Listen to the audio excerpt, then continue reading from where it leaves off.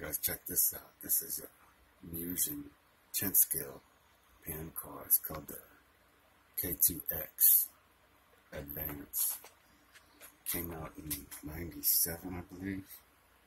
Something like that. Anyway, it's just like a, uh, a Serpent 8th scale, but it's a 10th scale. Let's see the two speed gears there.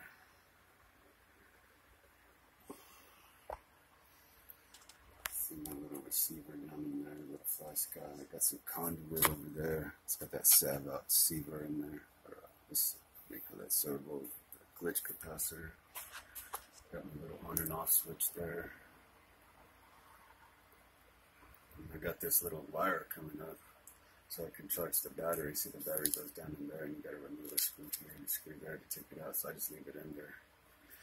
And just wired in an extra wire so I could uh, charge it. It's got this badass tune pipe on there. It's, uh, what is that, a 2035? 2502 RB Concepts on there. We've got an RB Concepts X18 engine waiting to go on there as well. It's what came on it originally.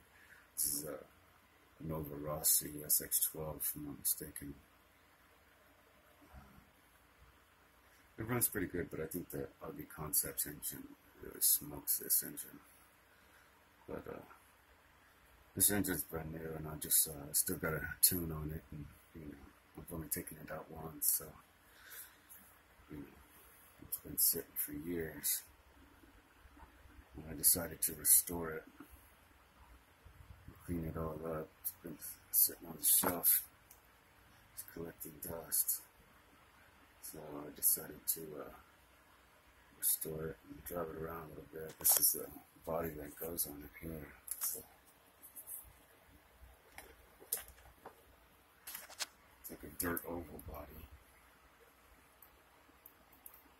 Pontiac uh, Grand Prix is pretty cool. Reinforced it with this black duct tape. I don't know if you can see that there, all on the inside as well. It's got like three layers of it, so it's super thick now. It's like fifth scale thick, real nice. You don't have to worry. Look at that one. it barely bends down, it's, but it's still pliable, you know. So really nice. Gonna do that to all my cars now. Get it all the way around the outside, on the inside of the fender flare, uh, flare, so that this doesn't chip right here, crack. Anyways, cool little car.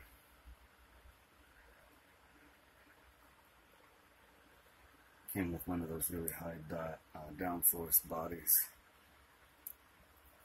Uh, the RB Concepts engine on there, and man, that thing would do like 50 miles an hour in first gear. I could barely get it out of first gear, it went so fast. Parking lot was too small. But anyway, we're going to uh, drive this one around a little bit. I got a, box of this Torco stuff down here. Heavy race fuel, so I'll be using that.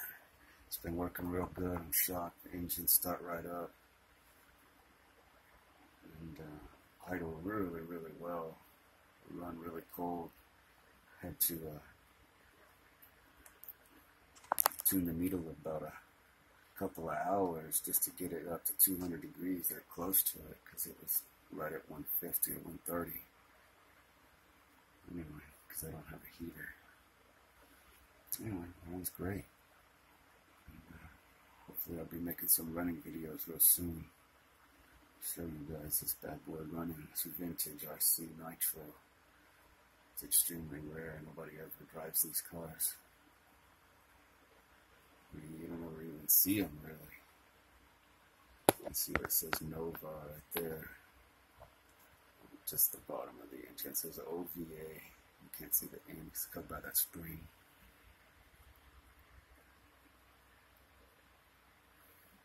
You see that belt there going from the back to the front. It's got one-way bearings in the front.